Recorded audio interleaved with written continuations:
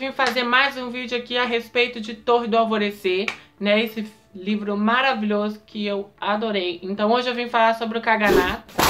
Tá na hora de outro vídeo aí de pronúncias, tá? Apesar de que eu nem siga a outra, continuo falando do meu jeitinho. Então hoje eu vim falar aqui sobre o Kaganato, né? É, que é o nome de, da forma de governo ali, né? O nome do governo é, ali do continente sul, né? Então, só lembrando, a gente tem vários vídeos aqui sobre Trono de Vidro, então se inscreve no canal, curte o vídeo e bora lá. Então, como eu falei, Kaganato é o nome do da forma de governo ali do continente sul. Ali no continente sul não tem rei, tem o Kagan. É muito estranho, cara, fala aí. Mas é o Kagan que governa ali o continente sul. Ele não usa coroa, mas é praticamente um rei ali do continente sul.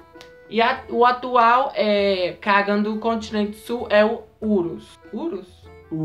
Isso é o que? Nome de deus egípcio? Parece, não parece? O Kaganato, ao, ao, ao, longo dos anos, né, foi conquistando de pouquinho em pouquinho o continente sul até unificar tudo, a todo o continente é, debaixo de uma única bandeira, que é o do Kagan, né? Mais uma coisa que eu achei muito interessante a respeito dessa conquista é que, de acordo com o Kagan, foi conquistando cada cidade, cada é, é, país ali, né? Ele não implantou uma cultura ali, ele não implantou um, uma religião ali nesse, nesse lugar que ele conquistou. A religião, a cultura daquele lugar que ele conquistou foi absorvida pela cultura dele, sabe? Os deuses ali daquele lugar onde ele acabou de conquistar foi é, se misturou aos deuses já deles. Então, a cada cidade que ele conquistava, era isso que acontecia, sabe? Ali naquela cidade tem três deuses, né? O deus X, o deus Y e o deus W.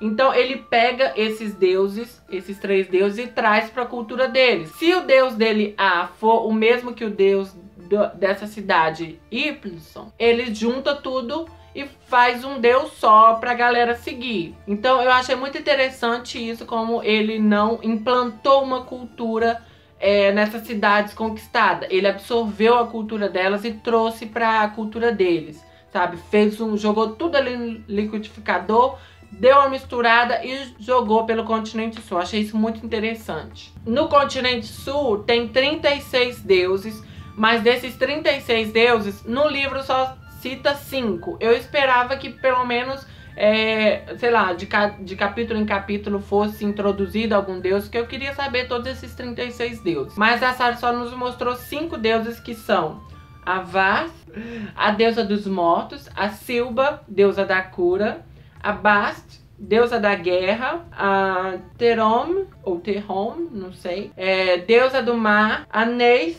Neith, Neith, é difícil esses nomes. Neith, deusa arqueira barra caça, sabe? Que nem aquilo que eu falei. Tem duas deusas que são praticamente a mesma coisa. Ele unificou essas deusas formando uma. Então essa Neith, Neith é a deusa arqueira barra deusa da caça.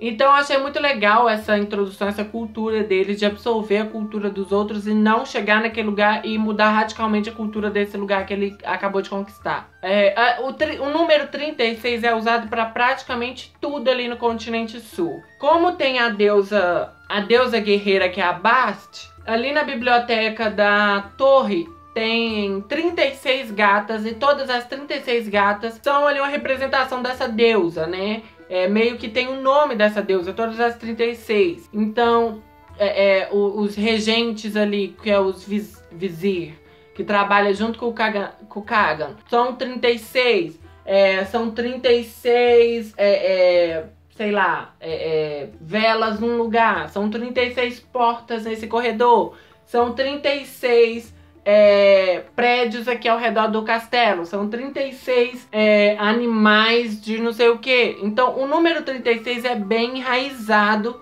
na cultura do continente sul, né? Então, é, essa superstição do número 36 é bastante grande ali em, em torno deles. Outra coisa que eu achei bem interessante é, a respeito do continente sul e do Kaganato, a linha de sucessão não funciona do jeito que a gente está acostumado, né? Porque a gente está acostumado com duas opções.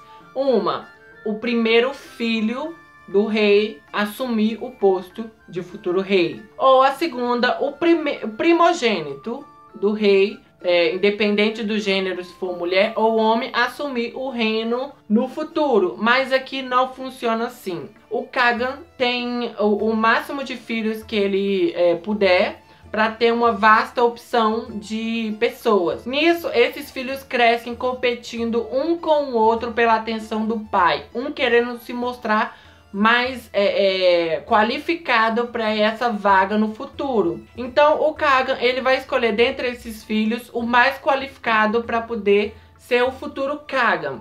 E esse é, irmão, futuro Kagan, é, sei lá, ter sete irmãos fora ele, esses sete irmãos vão ter que jurar lealdade a ele, né? E a forma de jurar essa lealdade é indo pra torre e se tornando estéreo, não podendo ter filhos, né? Porque a única linhagem de sucessão ali tem que vir do Kagan, né? Então, o, os irmãos do Kagan não pode é, é, ter filhos para não interferir nessa linhagem, para não querer depois da louco e tomar alguma coisa, sabe? Então, é, os irmãos do Kagan têm que jurar lealdade através ali dessa, desse processo que deixa a pessoa estéreo. E o que não jurar lealdade, que achar que foi injusta essa escolha e querer, querer é, é, reivindicar aquilo para ele, acaba é, em guerra ali entre irmãos e é irmão matando irmão. Igual eu falei, o, o Kagan atual é o Urus, né? E ele teve seis filhos só que uma filha dele, a mais nova, foi assassinada. É, é, então restaram cinco aí para competir pelo Kagan, né? Para ser o futuro Kagan. Independente de gênero, tá? O Kagan funciona assim, independente de gênero. É o mais qualificado que vai ganhar aí a posição de herdeiro. Para quando o, o Kagan morrer ou falar, acabou aqui, a pessoa vai assumir o lugar do pai ou da mãe. É, os filhos do Kagan atual, que é o Uru, são Sartak, que é o atual herdeiro, que foi proclamado herdeiro do, do Kagan. Ele vai se tornar o próximo Kagan se ele sobreviver à guerra. Aí vem a Hassar, o Kashin, o Argun, a Duva e a Tumelun, que é a que foi morta. Ali na, no continente sul tem a Torre Sesmin, como é que é? A torre ali dos curandeiros, que é o lugar mais conhecido ali de todo o continente, né? Que é onde as pessoas vão ali para se tratar. Essa torre foi é, construída há muitos anos atrás por uma Kagan, né? Que teve ali o seu filho salvo pelas mãos de um curandeiro. Então ali é, ela re, é, resolveu construir essa torre para ali juntar mais é, é, é, curandeiros e conhecimento e funcionar ali como ala médica mesmo, sabe? Como eu falei ali sobre a mais nova é, ter morrido, eles têm uma tradição ali diferente sobre como tratar o luto, né? Como é, sentir o luto, né? Que fala aqui na página 30 é, que a Nesrin fala, né, que eles não costumam vestir o luto, eles não costumam se lamentar pela morte, se lamentar pelaquela pessoa que morreu e ficar ali semanas, meses chorando a morte dessa pessoa. Eles seguem em frente, eles têm ali um momento, né, de luto deles, onde eles vão sentir aquela morte, mas acabou isso, vida seguiu em frente, né? E ela que ela fala que, é, que os mortos não, não eram enfiados em catacumbas ou caixões de pedra, mas envoltos em panos brancos e dispostos sobre o céu aberto da reserva sagrada e selada nas estepes distantes. Eu achei isso estranho. Como é que você envolve um cadáver num pano branco, joga céu aberto e deixa? Mas é a cultura deles, a gente não dá aqui pra questionar, né? Eu achei uma cultura bem rica desses, desse continente sul. Outra coisa aqui que faz menção à morte, mas também há uma tradição muito antiga desse povo, que é a respeito das lanças Sult, né? Que o, o Caxim conta aqui pro Chau que é uma lança de uma tradição muito antiga que todo mundo tem ali da dos como é que é o nome do, do pessoal, gente? Dargan. É, eles pegam mechas da crina do cavalo deles, é, coloca ali nessa é, é, lança, que aí ele fala: nossos ancestrais acreditavam que nossos destinos aguardavam na direção para a qual os pelos oscilavam ao vento. E nisso ele é, é, ele fala que é uma tradição, alguns acreditam, outros não. Mas quando eles estão na casa do pai deles, essas lanças são fincadas ali num chão ali, né? Num, num lugar ali X, onde ficam ali, porque ali na casa do pai deles não. É pra não ter guerra, não ter isso, né? Então a lança deles fica ali, acho que, numa menção à paz ali dentro, sabe? Que estão na casa do pai deles, a competição fica por lá de fora, mas ali na casa do pai deles tem que ter paz, então a lança deles fica fincada lá fora. Aí nisso vem a parte da morte aqui, mas na morte é o único objeto que levamos. A Sult carrega a alma de um guerreiro Dargan pela eternidade e permanece plantada no alto de uma steppe em nosso reino sagrado. Então, é, é muito bacana, sabe? Eu amei ler pelo menos essas 50 primeiras páginas desse, desse livro porque é só sobre a cultura do sul e eu amei ver essa cultura do sul. Tem dois povos aqui no de guerreiros no, no sul que são bastante conhecidos e são os povos mais assim top, né? Porque tem um soldado e tem esses dois povos, né? Que são os Hulking e os Dargan. Os Hulking são é, montadores de águias gigantes, né? As Hulk. Não sei se é assim pronuncia, a gente releva. Mas essas Hulk são águias gigantes e esse, essa galera aí do Hulking tem essa cultura aí de montar esses animais, né? Eu vou fazer um vídeo especial sobre esse, esse Hulk, ok?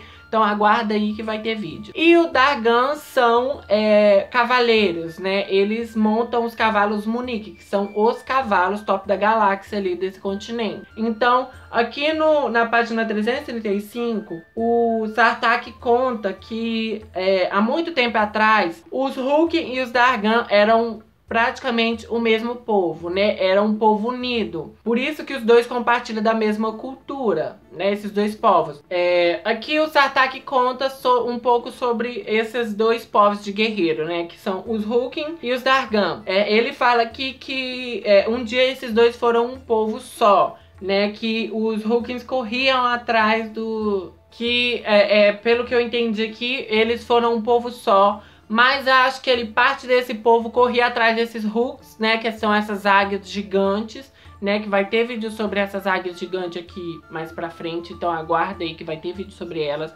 Então parte aí desses é, Dargans, né? Que, desse povo aí do, dos cavalos. Corria atrás desses hooks. E quando o... É, é, algum desses é, é, povo aí do cavalo, né? Que ele fala aqui, ó. É, corríamos atrás dos Hulks sobre nossos cavalos Munique. Seguíamos seus rastros é, para o interior das montanhas Tavan. E quando domamos os Hulks, alguns dos senhores dos cavalos escolheram não retornar para as estepes. Então, quando algum, é, parte desse pessoal aí dos Senhores dos Cavalos é, domaram aí as Hulks, né, que são essas águias gigantes, o povo se dividiu. Aí virou os Hulking e os Dargan, né? Que são os Hulking são aqueles que montam essas águias gigantes e os Dargan são os senhores dos cavalos, né? Que são essas duas, é, é, esses dois guerreiros cabulosos. É, a gente conhece toda essa cultura aí. Gente, se eu estiver falando alguma coisa errada aqui, né? Vocês me dizem aqui nos comentários, tá? Vamos ajudar aí os coleguinhas que tiver dúvida no comentário. É, a gente passa a conhecer melhor esse, esse continente sul e essa cultura quando o Shao e a Nesrin foram visitar eles com duas intenções, né? A primeira intenção é o que? Juntar o Dargan, o, o, o Dargan, o Kagan com o exército da Elin mais do Dorian em Terra Sen. Fazer com que o Kagan se junte a eles. E a segunda foi é, curar as pernas do, do Shao, que ele foi atacado pelo rei no livro 4. E ali ele, ele não tem mais o movimento das pernas. Então ele foi ali para a torre para poder se curar para poder ter um movimento de volta, para poder participar da guerra. Então o livro acaba com a gente vendo que eles conseguiram isso, conseguiu ali juntar um exército para levar para o norte, né? Para Terra Sem. Eles conseguiram levar mil Hookings, que são o povo das águias gigantes, né? Liderada pelo Sartak e a Nesrin, que a Nesrin conseguiu ali uma Hooking para ela. E o, o eles estão levando também é, mil navios, cada, é, cada navio aí com soldados, né? E 300 curandeiras. O porquê das curandeiras tá indo, o porquê das curandeiras ser importante para a guerra, eu vou fazer um vídeo, então aguarda aí, tá? Então, basicamente, gente, é esse a cultura do Sul. Se eu tiver esquecido alguma coisa, se eu falei alguma coisa errada, me corrija nos comentários, ok? Então é isso aí, gente. Me diz aqui o que, que você achou quando você leu sobre essa cultura do, do Sul. Ok? Então é isso aí, gente. Se você gostou do vídeo, dê um joinha, se inscreve no canal, compartilha o vídeo, compartilha o canal. Obrigado por assistir o vídeo. Beijo. Tchau, gente.